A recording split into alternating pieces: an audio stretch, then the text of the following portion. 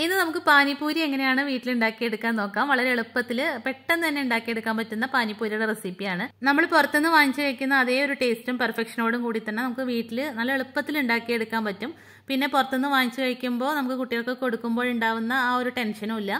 നമുക്ക് എങ്ങനെയാണ് വളരെ പെട്ടെന്ന് ഇൻസ്റ്റന്റ് ആയിട്ട് ഈ ഒരു പാനിപ്പൂരി ഉണ്ടാക്കിയെടുക്കാൻ നമുക്ക് ഇതിലേക്ക് ആവശ്യത്തിനുള്ള ചട്നികളൊക്കെ റെഡിയാക്കാം ഒരു ഗ്രീൻ ചട്നിയും അതുപോലെ തന്നെ ഒരു സ്വീറ്റ് ചട്നിയും വേണം.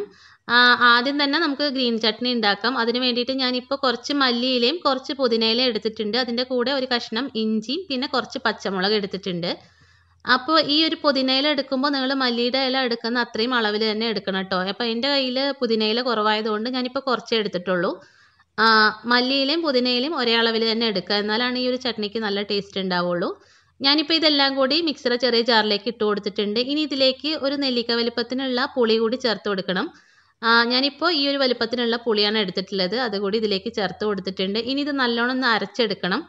അപ്പോൾ വെള്ളം ചേർത്തിട്ട് അരച്ചെടുത്താലും കുഴപ്പമൊന്നുമില്ല. നമ്മൾ ഇതിലേക്ക് വെള്ളം ചേർത്ത് കൊടുക്കുന്നുണ്ട്. ഞാനിപ്പോൾ ഇത് നല്ലോണം അരച്ചെടുത്തിട്ടുണ്ട്. ഇനി ഇതിലേക്ക് നമുക്ക് ഒരു അര ടീസ്പൂൺ ജീരകം പൊടിച്ചത് ചേർത്ത് കൊടുക്കാം. ഞാനിപ്പോൾ എടുത്തിട്ടുള്ള ജീരകം ഒരുപാട് പൊടിഞ്ഞിട്ടില്ല.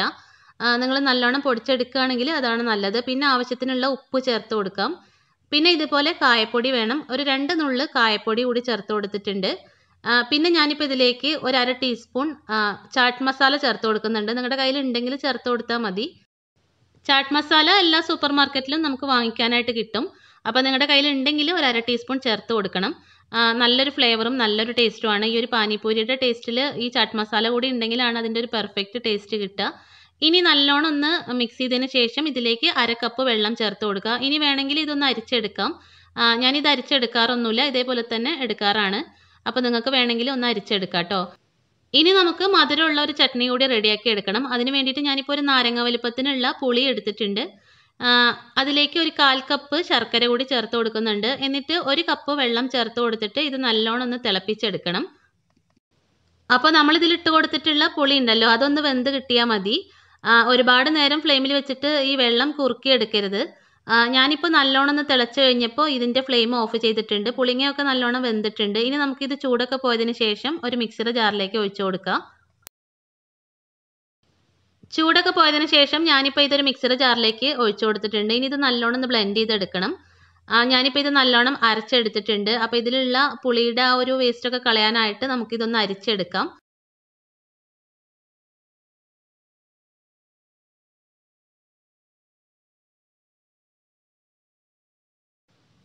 അപ്പോൾ നമ്മുടെ സ്വീറ്റ് ചട്നിക്ക് ആവശ്യമായിട്ടുള്ള പുളിയുടെ മിക്സ് റെഡി ആയിട്ടുണ്ട്.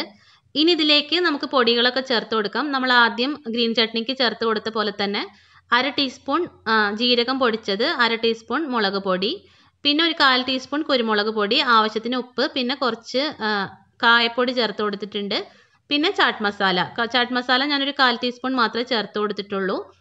ഇനി ഇതെല്ലാം കൂടി ഒന്ന് മിക്സ് ചെയ്തെടുത്തു കഴിഞ്ഞാൽ നമ്മുടെ സ്വീറ്റ് ചട്നി റെഡിയായി ഇനി പാനിപ്പൂരിക്ക് ആവശ്യമായിട്ടുള്ള ഫില്ലിംഗ് ആണ് വേണ്ടത്. അതിന് വേണ്ടിയിട്ട് ഞാനിപ്പോൾ ഇതുപോലെ കുറച്ച് വെള്ളക്കടല വേവിച്ചെടുത്തത് എടുത്തിട്ടുണ്ട്. ഞാനൊരു രണ്ട് ടേബിൾ സ്പൂൺ മാത്രമേ എടുത്തിട്ടുള്ളൂ. പിന്നെ ഇതുപോലെ വലിയൊരു ഉരുളക്കിഴങ്ങ് പുഴുങ്ങിയതിന്റെ പകുതി എടുത്തിട്ടുണ്ട്. പിന്നെ കുറച്ച് സവോള. ഇതെല്ലാം കൂടി വലിയൊരു ബൗളിലേക്ക് ഇട്ട് കൊടുത്തിട്ടുണ്ട്. ഈ ഒരു ഉരുളക്കിഴങ്ങ് നല്ലോണം പൊടിച്ചെടുത്തിട്ടാണ് ഞാനിപ്പോൾ ചേർത്ത് കൊടുത്തിട്ടുള്ളത്. ഇതിലേക്ക് കുറച്ച് മല്ലിയില ചേർത്ത് കൊടുത്തിട്ടുണ്ട്. പിന്നെ കുറച്ച് ജീരകപ്പൊടി കുറച്ച് കുരുമുളക് പൊടി കുറച്ച് മുളക് പൊടി എല്ലാം ഞാനൊരു കാൽ ടീസ്പൂൺ വീതം മാത്രമേ ചേർത്ത് കൊടുത്തിട്ടുള്ളൂ. പിന്നെ കുറച്ച് ചാട്ട് മസാല കൂടി ചേർത്ത് കൊടുത്തിട്ട് ആവശ്യത്തിന് ഉപ്പ് കൂടി ചേർത്ത് കൊടുക്കുക എന്നിട്ട് ഇത് മിക്സ് ചെയ്യുക അപ്പോൾ നമ്മുടെ ഈ ഒരു ഫില്ലിങ് റെഡി ആയിട്ടുണ്ട്.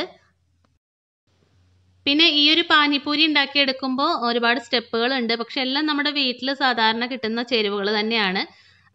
അപ്പോൾ പാനിപൂരിക്ക് വേണ്ടിയിട്ടുള്ള ഫില്ലിങ്ങും റെഡി ആയിട്ടുണ്ട്. ഇനി നമുക്കിതിലേക്ക് ആവശ്യമുള്ളത് പൂരിയാണ്. അപ്പോൾ ഇതാ ഇതുപോലെ നമുക്ക് എല്ലാ സൂപ്പർ മാർക്കറ്റിലും ഈ ഒരു പാനിപ്പൂരിക്ക് വേണ്ടിയിട്ടുള്ള പൂരി നമുക്ക് റെഡിമെയ്ഡ് ആയിട്ട് വാങ്ങിക്കാൻ കിട്ടും. നമുക്ക് ഇതിലൊരു നൂറിലധികം പൂരികളുണ്ട് തോന്നുന്നു. ഇതിൽ ഗ്രാമ അളവാണ് എഴുതിയിട്ടുള്ളത്. ഞാനിത് എണ്ണി നോക്കാനായിട്ട് വിട്ടുപോയി. നൂറ് ഗ്രാമിന് മുപ്പത്തഞ്ച് രൂപയാണ് വില. പല കമ്പനികളുടെ ഉണ്ടാവും. ഞാനിപ്പോൾ ഇതാണ് വാങ്ങിച്ചിട്ടുള്ളത്. ഒരുപാട് എണ്ണ ഉണ്ട്. സാധാരണ നമ്മൾ പപ്പടമൊക്കെ വാങ്ങിക്കുന്ന പോലെ അതുപോലെയാണ് കേട്ടോ ഉള്ളത്. ഇത് നമ്മൾ ചൂടായ എണ്ണയിലിട്ടിട്ട് ഫ്രൈ ചെയ്തെടുത്താൽ മതി. അപ്പോൾ ഇതാ ഇതിലുള്ള പൂരി ഇതുപോലെയാണ് ഉണ്ടാവുക. ഇത് നമ്മൾ നല്ല ചൂടായ എണ്ണയിലേക്ക് ഇട്ട് കൊടുത്തിട്ട് ഫ്രൈ ചെയ്തെടുക്കുകയാണ് വേണ്ടത്. അപ്പോൾ ഇതാ നല്ലോണം ചൂടായിട്ടുള്ള എണ്ണയിലേക്ക് ഞാനിപ്പോൾ ഇതാ കുറച്ച് എണ്ണം ഇട്ട് കൊടുത്തിട്ടുണ്ട്. പിന്നെ ഇത് നന്നായിട്ട് പൊങ്ങി വരും കേട്ടോ അതുകൊണ്ട് തന്നെ ഒരുപാട് ഇട്ട് കൊടുക്കണ്ട. നമ്മൾ എടുക്കുന്ന ആ ഒരു ചട്ടിക്ക് അനുസരിച്ചിട്ട് ഇട്ട് കൊടുത്താൽ മതി. ഞാനിപ്പോൾ ഇതാ വെറും ആറെണ്ണം മാത്രമേ ഇട്ട് കൊടുത്തിട്ടുള്ളൂ. അപ്പോൾ തന്നെ ഈ ഒരു ചട്ടിയിൽ മുഴുവനായിട്ടും ഉണ്ട് കേട്ടോ ഇത് നല്ലോണം പൊങ്ങി വരും. സാധാരണ നമ്മൾ റവയൊക്കെ ഉപയോഗിച്ചിട്ട് റവയും മൈദയൊക്കെ ഉപയോഗിച്ചിട്ട് നല്ലോണം കുഴച്ചിട്ട് റെസ്റ്റ് ചെയ്യാനൊക്കെ വെച്ചിട്ടൊക്കെ വേണം ഈ ഒരു പൂരി ഉണ്ടാക്കിയെടുക്കാനായിട്ട്. അപ്പോൾ ഇതുപോലെ ഒരു പാക്കറ്റ് വാങ്ങിച്ചു കഴിഞ്ഞാൽ നമുക്ക് ഒരുപാട് പേർക്ക് കഴിക്കാനുണ്ടാവും. വളരെ ചെറിയ വിലയേ ഉള്ളൂ. അപ്പോൾ എന്തായാലും നിങ്ങൾ ഒന്ന് വാങ്ങിച്ചിട്ട് ഒന്ന് ട്രൈ ചെയ്ത് നോക്കുക കേട്ടോ. അപ്പോൾ ഞാനിത് ഫ്രൈ ചെയ്ത് എടുത്തിട്ടുണ്ട് ഇതുപോലെ തന്നെ നമുക്ക് ആവശ്യത്തിനുള്ളത് ഫ്രൈ ചെയ്ത് എടുക്കാം പിന്നെ നല്ല ചൂടായ എണ്ണയിലേക്ക് വേണം ഈ ഒരു പൂരി ഇട്ട് കൊടുക്കാനായിട്ട്. ഇട്ട് കൊടുക്കുന്ന സമയത്ത് ഫ്ലെയിം ഒന്ന് കുറച്ച് വെക്കണം. പെട്ടെന്ന് തന്നെ പൊങ്ങി വരും. അതുകൊണ്ട് തന്നെ പെട്ടെന്ന് കരിഞ്ഞു പോകാൻ സാധ്യത ഉണ്ട് ഇതുപോലെ നമ്മൾ നല്ല ഗോൾഡൻ കളറായി വരുന്ന സമയത്ത് ഫ്രൈ ചെയ്തിട്ട് കോരിയെടുക്കുക അപ്പോൾ ഇതാ പാനിപൂരിക്ക് ആവശ്യമായിട്ടുള്ള പൂരി ഫ്രൈ ചെയ്തെടുത്തിട്ടുണ്ട്. ഇനി നമുക്ക് പൂരി എങ്ങനെയാണ് പാനിപൂരി ആക്കി എടുക്കാൻ നോക്കാം. ഇത് നല്ല ടേസ്റ്റാണ് കേട്ടോ നല്ല ഫ്രൈ ആയി കഴിഞ്ഞാൽ നല്ല കറുമുറാന്നാണുള്ളത്. നമ്മളിത് പൊട്ടിച്ച് കഴിക്കുന്ന സമയത്ത് നല്ല കറുമുറാന്ന് കഴിക്കാൻ പറ്റും. നമ്മൾ പുറത്തുനിന്ന് പാനിപ്പൂരി വാങ്ങിച്ച് കഴിക്കുമ്പോൾ ആ കിട്ടുന്ന ആ ഒരേ ടേസ്റ്റ് തന്നെ കിട്ടും. ഇതുപോലെ നമ്മൾ ഫ്രൈ ചെയ്ത് എടുത്തിട്ട് ഉണ്ടാക്കുകയാണെങ്കിൽ അപ്പോൾ പാനിപ്പൂരി എങ്ങനെയാണ് ഇനി സെറ്റ് ചെയ്തെടുക്കാൻ നോക്കാം. ഇതുപോലെ ഒന്ന് പൊട്ടിച്ച് കൊടുക്കുക ഇതുപോലെ ഒരു ഹോൾ ഉണ്ടാക്കിയിട്ട് അതിലേക്ക് നമ്മൾ റെഡിയാക്കി വെച്ചിട്ടുള്ള ഫില്ലിംഗ് ഉണ്ടല്ലോ അത് ഇട്ട് കൊടുക്കുക എന്നിട്ട് അതിലേക്ക് നമ്മൾ സ്വീറ്റ് ചട്നിയും അതുപോലെ തന്നെ ഗ്രീൻ ചട്നിയും ഒഴിച്ചു കൊടുത്തിട്ട് കഴിക്കുകയാണ് വേണ്ടത്. അപ്പോൾ ഇതാ ഞാനിതിലേക്ക് ആവശ്യത്തിന് ഫില്ലിംഗ് വെച്ച് കൊടുത്തിട്ടുണ്ട്. ഇനി ഇതിന്റെ മുകളിലായിട്ട് നമ്മൾ റെഡിയാക്കിയിട്ടുള്ള ഒരു സ്വീറ്റ് ചട്നി ഉണ്ടല്ലോ അത് ഒഴിച്ചു കൊടുക്കുക എന്നിട്ട് പിന്നെ ആ ഒരു ഗ്രീൻ ചട്നിയിൽ മുക്കിയിട്ട് എടുത്ത് കഴിക്കുകയാണ് കേട്ടോ വേണ്ടത്. നല്ല ടേസ്റ്റാണ്. അപ്പോൾ ഞാനിത് ഈ ഒരു സ്വീറ്റ് ചട്നി ഞാനൊന്ന് ഫ്രിഡ്ജിൽ വെച്ചിട്ടുണ്ടായിരുന്നു കേട്ടോ. അതുകൊണ്ടാണ് ഇത് കുറച്ച് തിക്കായിട്ടുള്ളത്. അപ്പോൾ നമുക്ക് ലൂസായിട്ടാണ് വേണ്ടതെങ്കിൽ ഒന്നുകൂടി ഒന്ന് മിക്സ് ചെയ്തെടുത്താൽ മതി. അപ്പോൾ ഇതാ ഈ ഒരു ഗ്രീൻ ചട്നിയിലും കൂടി മുക്കിയെടുത്തിട്ട് കഴിക്കാം. നല്ല ടേസ്റ്റാണ്. നമ്മൾ പുറത്തുനിന്ന് വാങ്ങിക്കുന്ന അതേ ഒരു ടേസ്റ്റും പെർഫെക്ഷനൊക്കെയാണ് ഈ ഒരു പാനിപൂരിക്ക് പിന്നെ ഈ ഒരു പൂരി വേണമെന്നുണ്ടെങ്കിൽ നമുക്ക് വീട്ടിൽ തന്നെ ഉണ്ടാക്കിയെടുക്കാവുന്നതേ ഉള്ളൂ. പാനിപൂരി നമ്മൾ സാധാരണ റവയും അതുപോലെ തന്നെ മൈദയൊക്കെ വെച്ചിട്ട് ഉണ്ടാക്കിയെടുക്കാൻ പറ്റും. പക്ഷേ ഇത് ആകുമ്പോൾ പെട്ടെന്ന് തന്നെ ഉണ്ടാക്കിയെടുക്കാം. നമ്മൾ ഇൻസ്റ്റന്റ് ആയിട്ടൊരു പാനിപൂരി കഴിക്കണം തോന്നുമ്പോൾ ഉണ്ടാക്കിയെടുക്കാൻ പറ്റുന്ന ഒരു റെസിപ്പിയാണ് കേട്ടോ അപ്പോൾ ട്രൈ ചെയ്ത് നോക്കിയിട്ട് നിങ്ങളുടെ കമൻസൊക്കെ അറിയിക്കണം. വീഡിയോ ഇഷ്ടമാണെന്നുണ്ടെങ്കിൽ ലൈക്ക് ചെയ്യാനും ഷെയർ ചെയ്യാനും സബ്സ്ക്രൈബ് ചെയ്യാനൊന്നും മറക്കരുത് കേട്ടോ